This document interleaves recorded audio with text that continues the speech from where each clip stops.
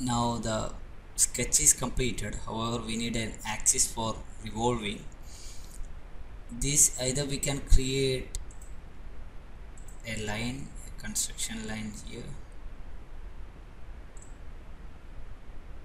so that it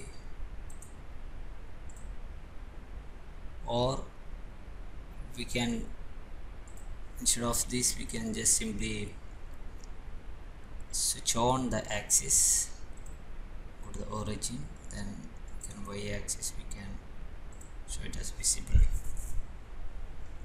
Then finish sketch. Now go to create contour roll select the axis so axis profile so it automatically creates the roll. You can see that the rolled angle is given as 90 degree. And we can change the direction of the thickness. And also we can change the directions of the side of the creation. And one thing we can notice that here in sketch there is no arc is given or radius is given. However we are getting a radius over here. That will be the minimum bend radius defined in the rule this here and here. And both area you can see the same.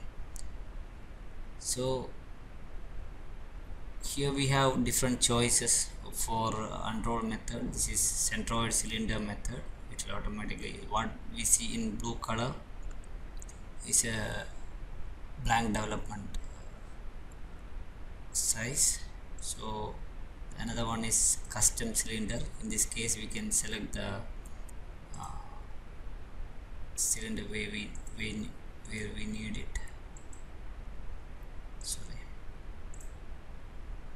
It will create the blank from based on that cylinder level.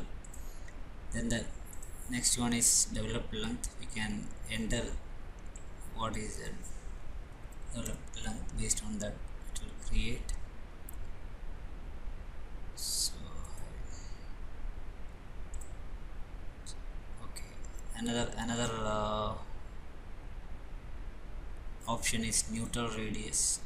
So we can key in the neutral radius say 12 so it will automatically create a blank development based on that particular neutral radius.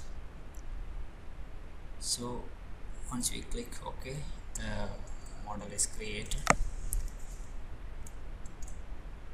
Now we can see that roll sheet metal feature is